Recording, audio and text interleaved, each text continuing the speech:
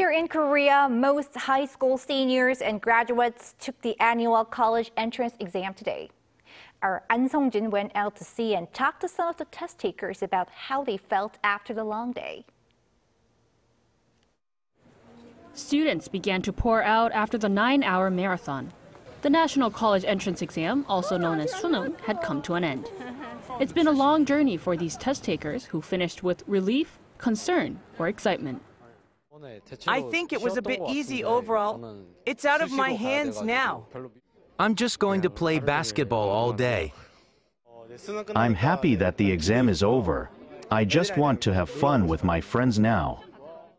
This year, more than 520,000 students took the test at nearly 1,300 test-taking centers across the country, which is nearly 20,000 more than last year. And this year saw the highest number of people retaking the test in the past 21 years. It's the first Suneung since the expansion of the medical school admissions quota, and as more students are expected to apply to med school, this may have led to the increase in test takers this year. With these extra students, competition was expected to be more intense with more difficult questions to separate them. However, the head of the examination committee said otherwise.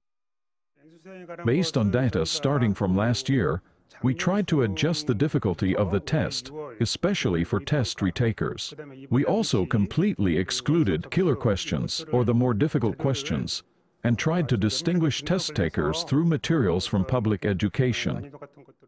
Starting off with the Korean language, the exam continued with math, English, and elective subjects. On the day of the test, most government offices and some companies pushed back their working hours to 10 a.m. The Seoul Metropolitan Subway increased the number of trains running from 6 a.m. to 10 a.m.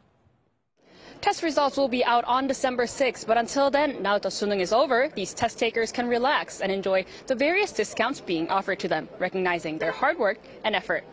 Ahn Sung-jin, Arirang News.